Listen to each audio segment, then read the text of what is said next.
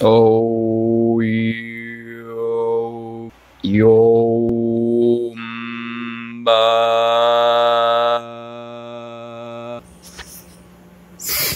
Alright guys, welcome back to the channel. So this morning I'm going to show you how to make one of the best buttered coffees that you will drink to just kick off your morning, give you some energy, and just be help you be fat fueled, especially if you're on a uh, keto diet and just give you all the brain benefits when you're about to start your meditation, do some deep work, go to the gym, get a good workout in.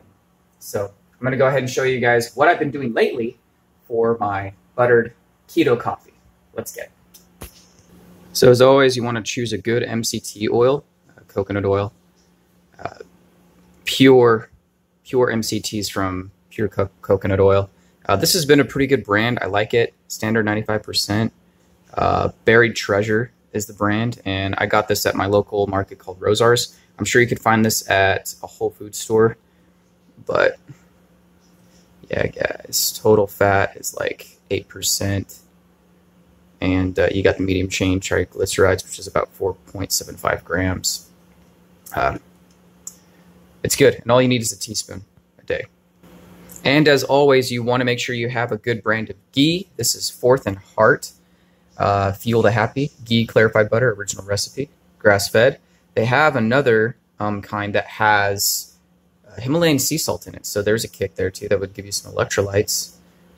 And um, yeah, this is a good, pure, really buttery ghee, and I love it. Um, it gives it a really good texture in the coffee. So. And just for kickers, uh, I wanted to add in some extra coconut oil, just the ver uh, organic virgin oil. This is from Spectrum. Spectrum, I've uh, done some videos on in the past. It's a really great brand and it works. Uh, you definitely want to get the unrefined virgin organic coconut oil. That's the best. So, yeah, guys, without further ado, um, I'll go ahead and add all these ingredients, pour in the coffee, and I'll show you guys how I whip it up. So, first, we'll add the MCT oil. You want to have a good blender. I use a Vitamix, as you guys have seen in my previous videos. I do about two of these. So, we'll do one and two. Next, we will add the ghee. I wanted to give you guys a look at this, this texture.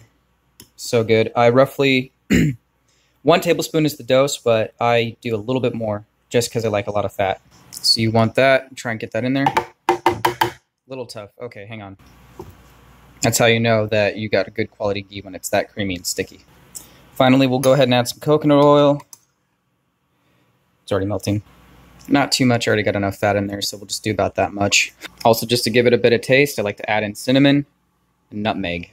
Should look like that before the coffee. And I always use my Pezzetti for a good keto cup. Strong brew. And we pour. Love this part, melting that butter. Usually one of the last things I add is uh, heavy cream, but unfortunately I had none, so all I had was this to work with today. After blending, serve.